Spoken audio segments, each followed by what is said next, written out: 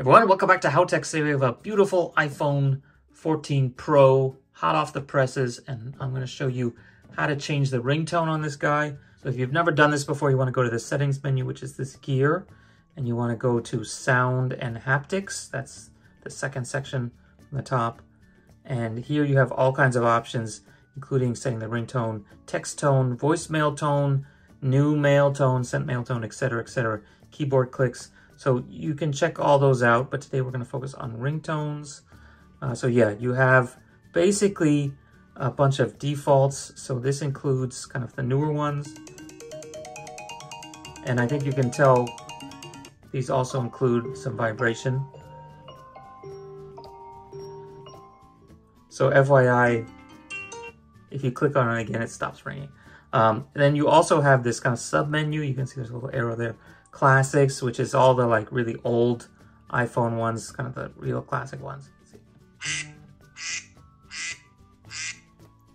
So for example, yeah, those are real like iPhone 3 classics. Uh, so you have those. You can also select alert tones as your ringtone. So you can see these here. So there's also a tone store, which is basically goes to iTunes and you can purchase uh, individual ringtones there. So we'll skip that for now. Uh, the other thing is you can set the vibration tones.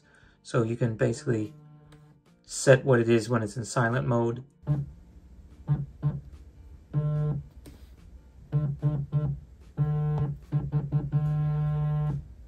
So you can actually set your own vibration tone. So let's see how this works. Tap to create.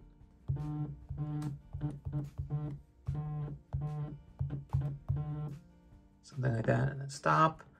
So let's try it out.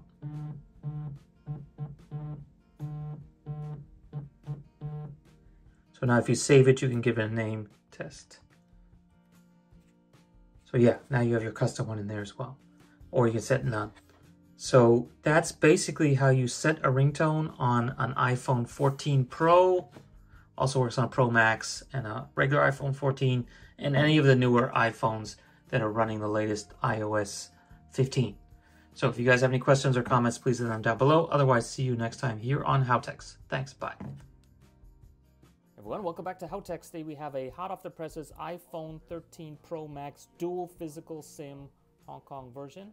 And today I'm going to show you how to insert and